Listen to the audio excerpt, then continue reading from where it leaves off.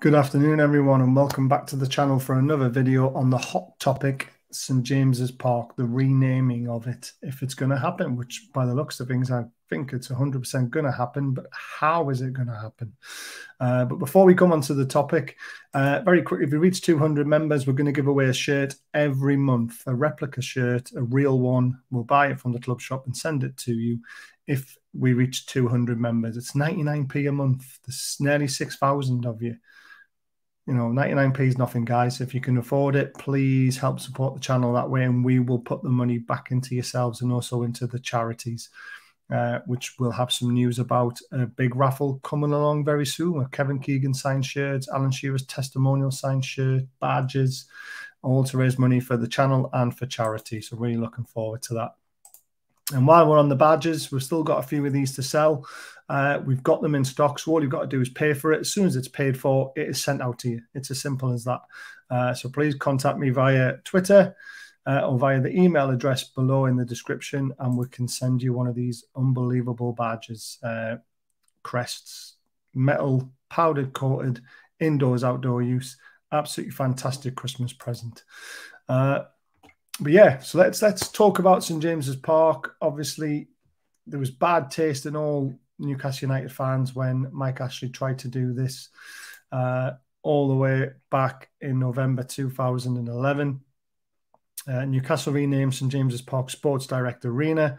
You know, a horrible sight. All the signs you know, it's been the home of Newcastle since 1892. We're talking 120 year rich history at this stadium. It's the only stadium we've ever known. It's right bang in the middle of the city. It's on a hill. It looks fabulous. And he decides to call it the Sports Direct Arena. So Newcastle United renamed St James's Park Sports Direct Arena after owner Mike Ashley's company. The club said the change is temporary measure to showcase the sponsorship opportunity to interested parties However, the St James's Park title has been dropped as the club does not think it's commercially attractive. Commercially attractive. Whatever aligned Mike Ashley's pockets back then was what was attractive to him. He didn't pay for this at all. No money went into into the club. It went straight, you know, it was completely free. The idea of it, he was changing the name of the stadium to show potential sponsors what it would look like and what it would mean. And it, it, didn't go down well at all, to be fair. There was backlash on Gillette Soccer Saturday with uh, Jeff Stelling saying he would never call it that. He would always call it St James's Park, and like the fans did as well. Uh, then Wonga restores Newcastle United Stadium's old name in October the 9th, 2012.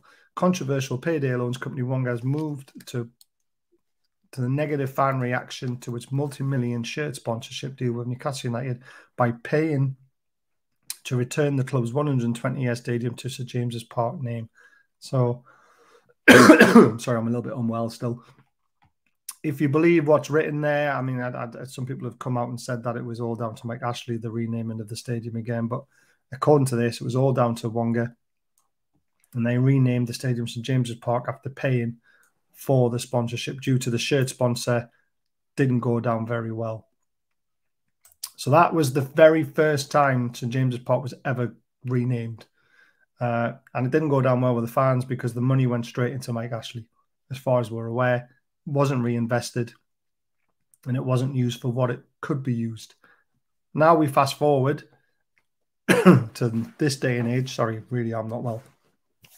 Uh, new owners, new ideas, really wanting to push this club forward. ah, man. Flu, COVID, whichever one it is, it's kicking my ass. But I really wanted to get this done. Uh, it's a hot topic at the moment, and I started a big topic on Facebook because of it, which we're going to go to on Twitter as well. Uh, we now know these owners are doing everything for the best of the football club.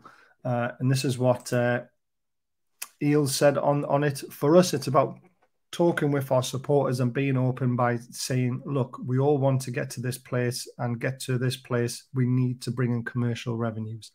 There's always going to be a little bit of trade off in certain areas. I'm just being hypothetical here. We would talk about having a dialogue around the stadium, and it might be that it's not a naming right, but it's an association naming rights. That might be something that everybody is comfortable with but there has to be dialogue and there has to be an explanation. Love that. Never got that from Mike Ashley, did we? At all. So that to me says, you know, and for me, it's a must. For me to make a decision on whether I want St James's Park to be renamed or an association name, is I want to know why they're doing it, what's it bringing to the table, and is is it going to Im- improve us as a football club? Because we're talking 120 years of history, remember. Uh, and I, for one, from what I've been listening to everyone on Twitter, which we'll come to very soon, it does sound like it's all very positive. But I want to know how much it's going to bring in. Is it worth the value of renaming the stadium if the the right money's not there? 10 million's not enough for me. You know, you want at least, I don't know, 20, 30 million, something like that. And the reason why I say that is we want it to bring in a marquee signing on the back of it.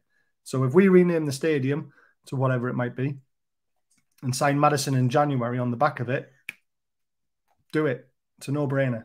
But we want to know the outlinings of why it's happening. And obviously, the expansion to 63k would be huge on top of that as well.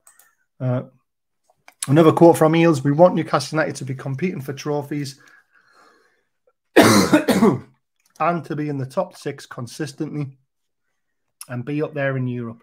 If we can find a path that gets us there quickest, way possible, then we're going to bring everyone in on the journey. Again, love that again. Thinking about the fans, bringing everyone in. You know, if it, you know, if our journey is 10 years to be challenging for the league every year, but this renaming brings in enough revenue to then fast forward that two years, then all Newcastle fans will probably be on board with it. There will be some that won't be, but I think majority would be.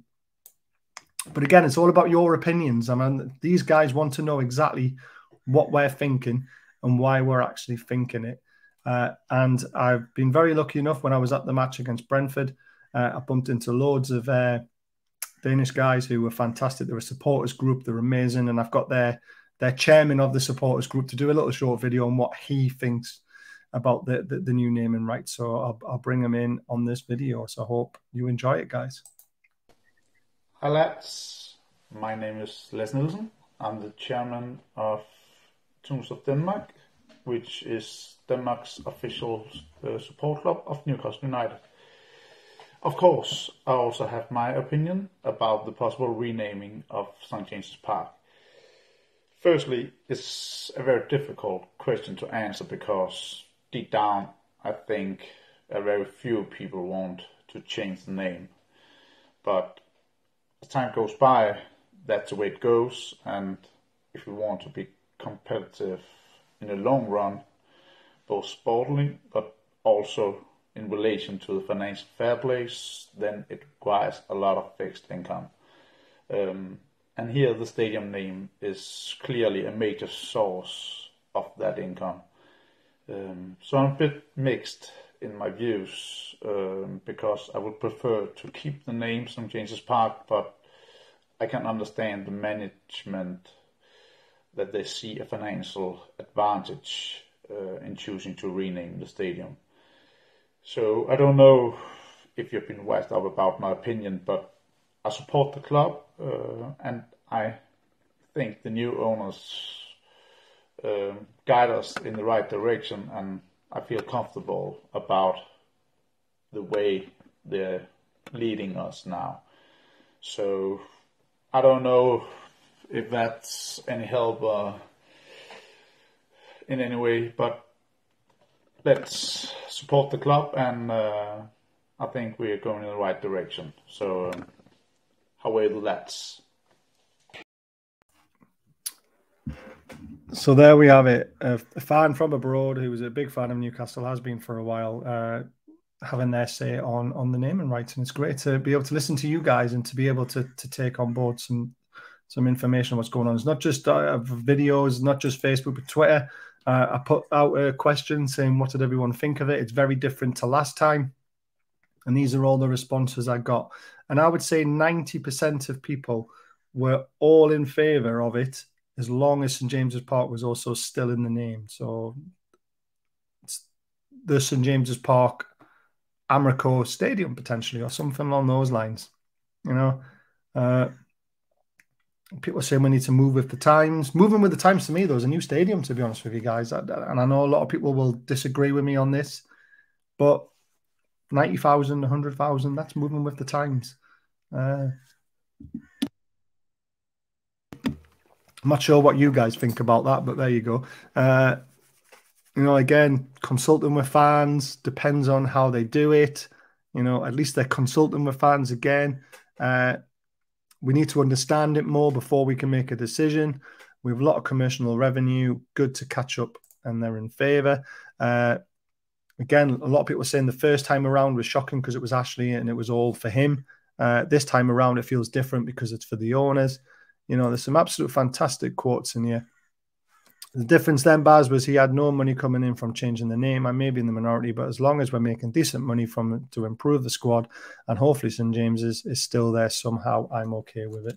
So I would say 90, 98% of people were in favour with the change of the name, and I think about 20% of people would be unhappy if St James's Park is not in the name anymore. I'm in that 20%, uh, but I think a lot of people see the value in, in the name change and especially if it helps us to move further forward. A few other things renaming may bring in more coin, but it's in James's Park, man. Three things shouldn't be changed the team's name, home colours, and the ground name. St James's Park is where NUFC have always played. They want to change it, so probably be changed, but to the fans, it'll always be St James's Park. So it always will be St James's Park, I guess. It's what we've always known, isn't it? But again, there's a fan that's not quite on on side with it. So you, you know, you've got you got to see all the opinions that are happening.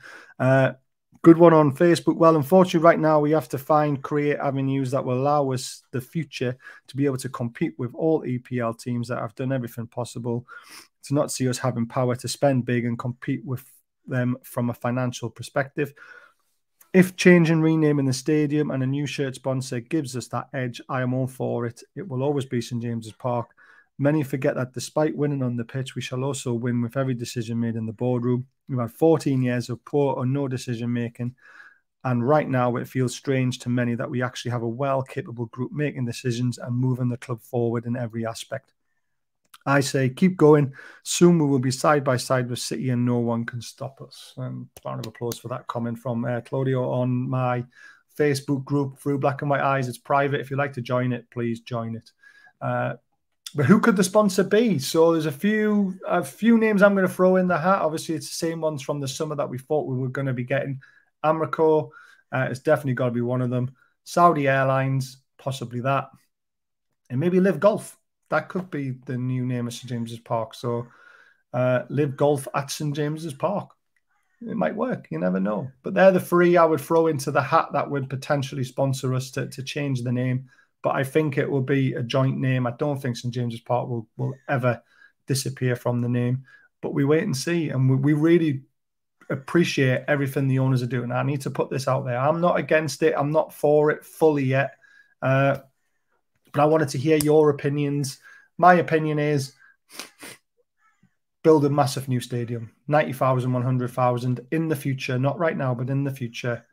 That would love that. In the meantime, keep it St James's Park. But if it's going to help with revenue right now to get us where we need to be, please have St James's Park in the name somewhere. Uh, 120 years of history, you can't just wipe it out because of 20 million or 30 million or something like that. It's it's hurts a little bit when you think about it, but I see the points of view from everyone. I really do. I see the benefits in it. So if we can keep it, you know, with St James's Park in the name, I'll be I'll be on board. I'll change my mind when Maddison signs and gets us into Europe. Uh, why not, Air? Why not? Uh, so I hope you've enjoyed this video. I hope you've enjoyed the opinions of everyone who got involved on Twitter and also on the Facebook group. Some great opinions in there for and against, and some neutral, still not sure. I hope this has helped you make your, your minds up. Uh, I, for one, love what I hear from from Eales. I love what I hear from Dan Ashworth. I love what I hear from the football club. It's it's a different it's a different world now that we live in. Uh, Mike Ashley years have completely gone. This feels different. This money goes towards the squad. This does feel like it's a good idea. So yeah, I'm starting to turn around already, even though I'm only just saying I wasn't. But I, you know, when when you think about it and you say it out loud, you know, there we go. Uh, remember, guys, please consider hitting the subscribe button if you're new to the channel and then you enjoy watching us. Helps us grow please consider hitting the thumbs up button. Massive that one. It really helps with the YouTube algorithm. Please consider becoming a member. Please consider donating, donating through the super thanks. Uh, but the membership's the big one because we do members prizes, and we uh, we send the prizes abroad as well. So if you are abroad, you you know you, you, if you remember, you are having a chance of winning something. Uh, I will be announcing a massive raffle soon with Alan Shearer's testimonial shirt, two Kevin Keegan signed old shirts, and uh, five Newcastle Crest badges uh, to be won. Looking to raise 5,000, uh, which 50% of it will be going to three amazing charities the Alan Shearer Foundation, the NUFC Food Bank, and the Rob Burrows charity. Uh, so please consider buying tickets when they go on sale, and I will announce that as soon as possible. I'm just trying to get everything set up uh, to make sure it's done fairly and everything can be collected safely. Uh, please hit the thumbs up, guys. Please drop a comment below. And we will see you on Friday night for the look ahead to the Man United game on Sunday and then the watch along on Sunday. So take care till then, everyone.